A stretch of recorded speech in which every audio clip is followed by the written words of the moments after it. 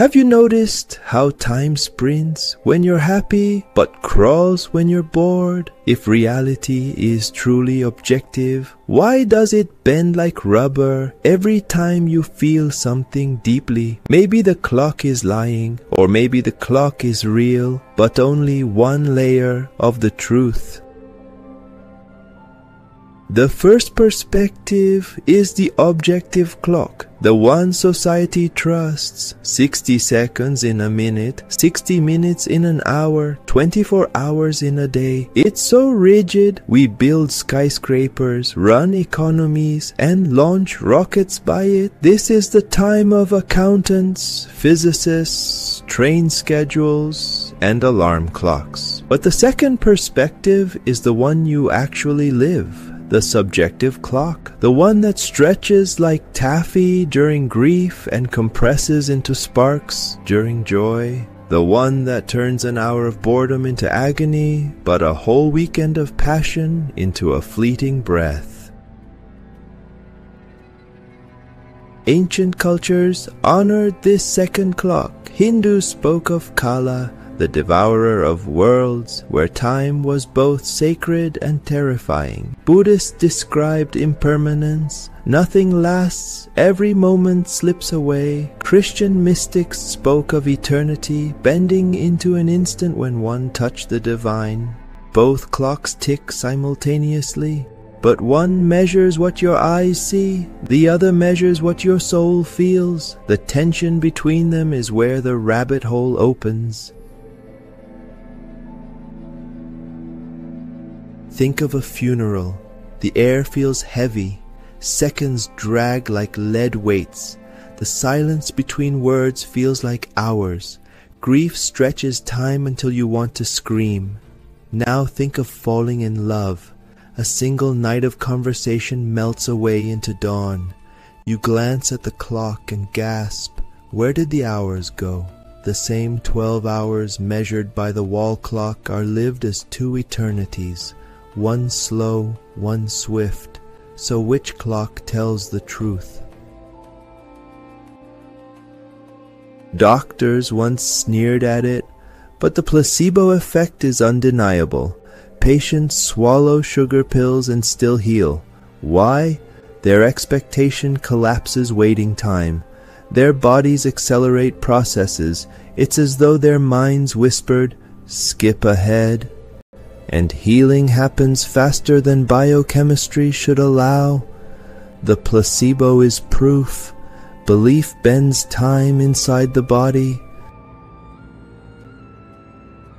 There are moments when you simply know. You turn left instead of right and avoid a car accident. You walk away from a stranger who felt off. Later, you realize the logic was invisible, but the knowing was instant. Science reveals your gut contains 500 million neurons, a second brain. It doesn't think in words, it leaps. It compresses hours of analysis into a single flash. Intuition is time folded like origami. Ask an athlete about flow. They'll say the ball slowed in midair, the basket widened, the crowd noise fell silent. In the flow state, the world sharpens. Outside the arena, hours disappear. The brain, flooded with dopamine and norepinephrine, enters coherence. Movements anticipate themselves. Decisions feel effortless. Time in flow isn't measured by minutes, it's measured by rhythm, like being carried in a river. These stories crack open a startling truth. Time is not fixed, it is elastic. Physics tells us Einstein was right. Time bends. Clocks on satellites orbiting Earth run faster than clocks on the ground. Astronauts return younger than their Earth-bound twins. Speed and gravity distort the supposedly objective clock. Biology says the same. Stress hormones stretch time perception. Adrenaline slows moments into eternity. Dopamine floods during joy, compressing hours into seconds. Psychology agrees. Children experience summers as long and endless because everything is novel. Adults find years collapsing into blinks because life repeats routines. Novelty stretches time, repetition erases it. Culture reveals the paradox too. Japanese haiku capture eternity in a single breath.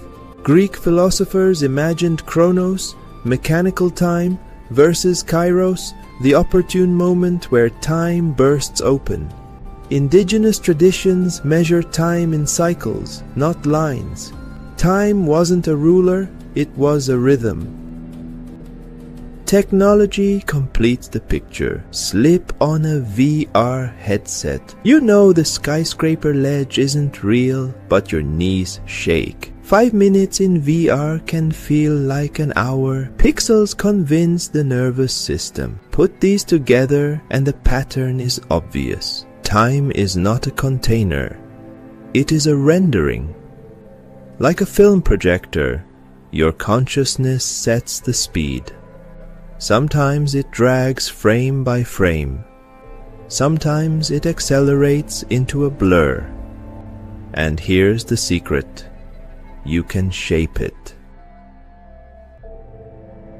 Three hours doom scrolling feels hollow. Three hours writing a poem feels like touching eternity. Same three hours, different renderings. Your perception isn't a passenger, it's the painter of time. That's why monks meditate, not to escape time, but to bend it. Artists forget meals while painting, children live in long summers, adults in short years. Time is not a straight line, it's a vortex, a spiral expanding and contracting, tuned by coherence.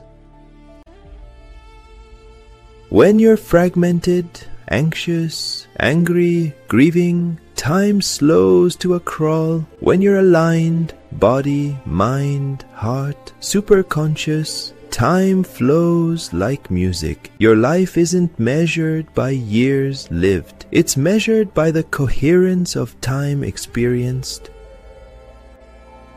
the coherence lens shifts the question entirely. Stop asking, how much time do I have? Start asking, how coherent is the time I live? Because coherence is the difference between hours wasted and hours transformed. A fragmented day is heavy, incoherent. Each task takes forever. You collapse into bed wondering, where did the day go? A coherent day is timeless. Flow carries you. You align with purpose. You look back and realize you lived fully in every minute. This isn't philosophy, it's practical.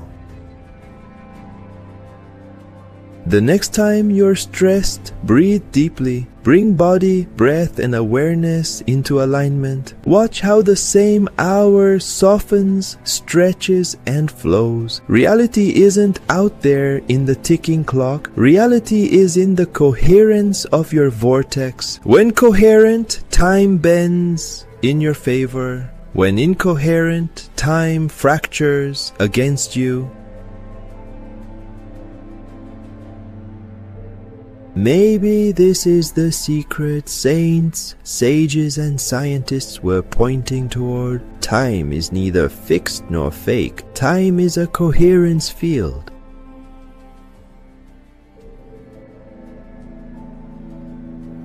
So, next time you check the clock, don't ask, what time is it? Ask instead, what shape is my time right now? Fragmented or flowing? Because your time isn't ticking, it's bending. And your life isn't measured in hours, it's measured in coherence. Follow the white rabbits, because in episode 6, we'll explore what happens when realities collide politics, religion, and the battle over whose rendering gets to rule.